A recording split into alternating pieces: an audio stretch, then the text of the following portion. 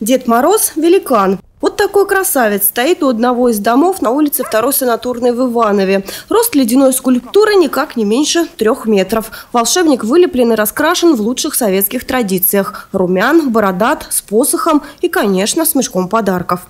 Расспросить самих скульпторов, как получился такой гигант, нашей съемочной группе не удалось. Из дома, который охраняет Дед Мороз, никто не вышел. Судя по всему, этих людей отличают не только золотые руки, но и скромность.